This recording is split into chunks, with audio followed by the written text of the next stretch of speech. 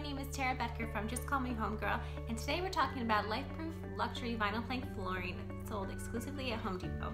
So let's get started.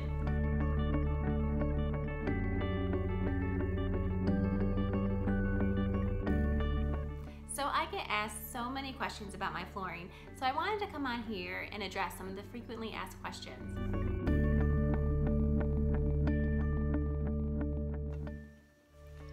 First time I ever put LifeProof flooring down was in my kitchen.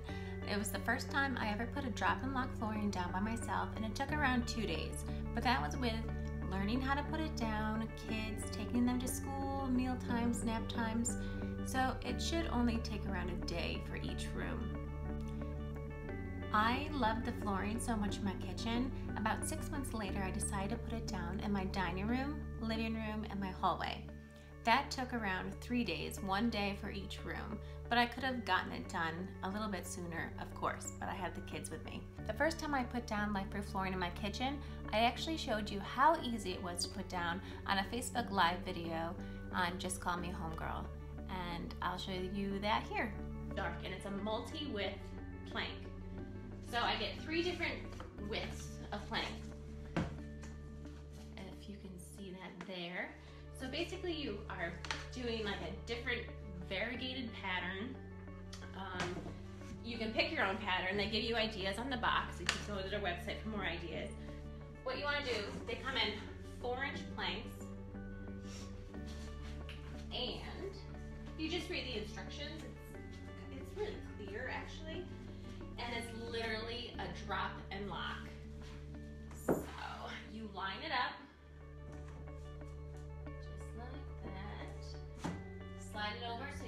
short end locked.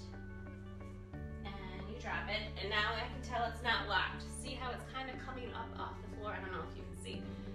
But it's kind of coming off of the floor. You'll know when it's a secure lock when it actually falls flat. So you kind of just want to, you don't have, don't do this.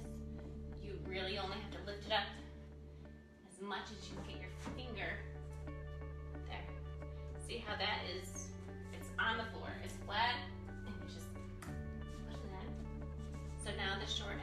take a soft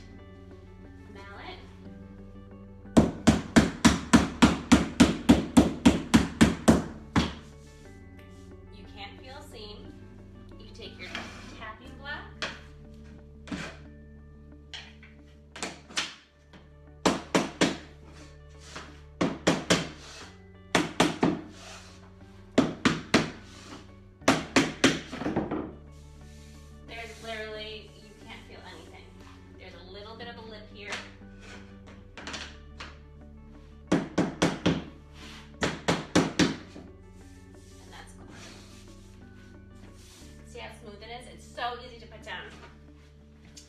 So on the next one, I'm not gonna show you, but I want, I'm not gonna do it. But basically, since this is a big 10 inch, then you have to put these two. And you can find your different pattern.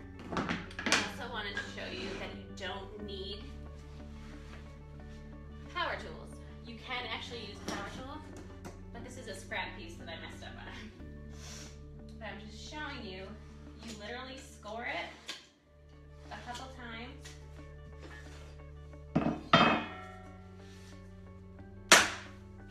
And that's how you break it.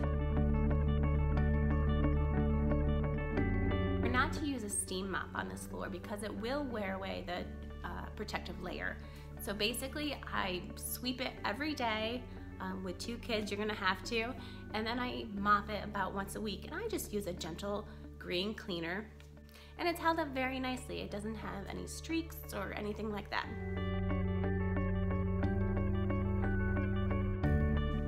There is a small texture to this flooring. It actually makes it look uh, really natural. And I love that it kind of helps with the grip when my kids are running up and down the hall with their socks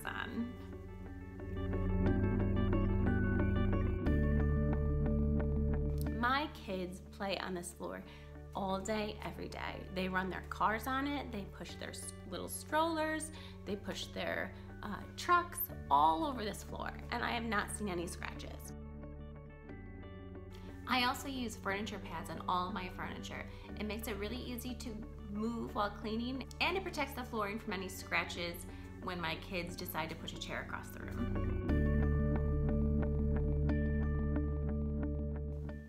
There are transition strips and you can get those at Home Depot as well when you order your flooring. I thought I wasn't gonna like them, but they actually blend right into the flooring. They're really easy to put in and it's kind of seamless.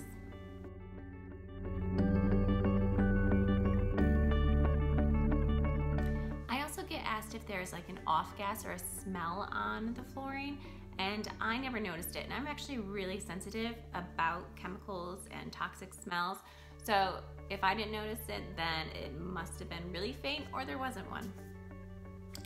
So I hope this answers a couple of questions that you might have had before purchasing this floor, and I do not regret it one bit.